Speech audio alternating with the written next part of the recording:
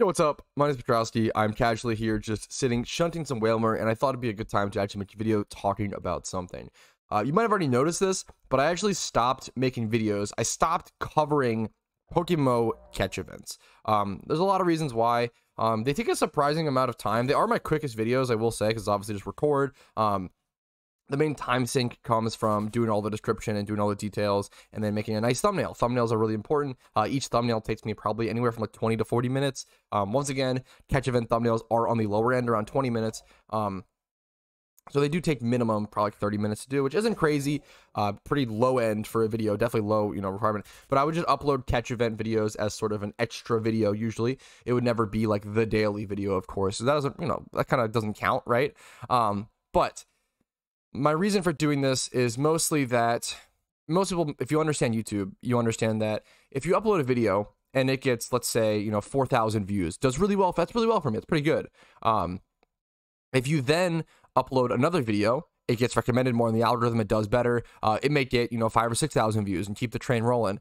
If I were to upload a catch event, like a Basculin catch event, right? After that, it gets 500, 600 views it kills my momentum. It kills my my channel momentum. And it really hurts my content. Unfortunately, it hurts my numbers and it hurts uh, me spreading the word and information of Pokemon, which is pretty counterproductive to my goals, right? Um, which is unfortunate because I, I love making catch event videos, and they are really good and they are really helpful to let players know about that information. But I do think at the end of the day, we're reaching a point where it is starting to counteract my goals a little too much, unfortunately. So I'm going to show you guys, this is where you go to find catch events. I always link this and I always talk about this in the descriptions of all my videos.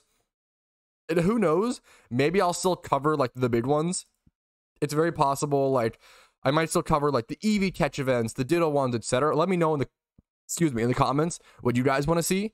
Um, it's really up to you guys what works best for you guys, but hopefully you guys understand. I, I do think that I think I think this is the best decision but if you disagree with it, let me know. Let your voice be heard. If you think I should still cover every single catch event, um, let me know in the comments. I really genuinely appreciate your guys' feedback. Um, but I understand if people aren't gonna watch, you know, a Liepard catching event. I mean, I'm not gonna. I probably wouldn't watch it either. You know, like, I'm.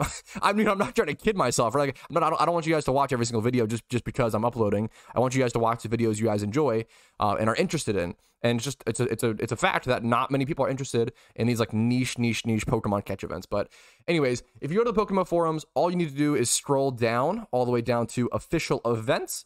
Uh, click on that, and then if you just scroll through, you'll usually see um, catch events pop up. So we see uh, prehistoric encounter. This is a catch event today. We see 00100 yada yada. That's on the 17th. Um, if you just go to this page, you'll get all of these catch event updates. I believe there is also a bot in the official PokeMMO Discord, um, which I should link down below. Um, and that also gives you like pings or notifications on all the events that PokeMMO post up on their forums at all, even the PvP ones. So if you want to be caught up to date on events, definitely go to the forum post. It's the best way to do it. If you don't want to check like the forums every day, I get it because I don't like to do that either.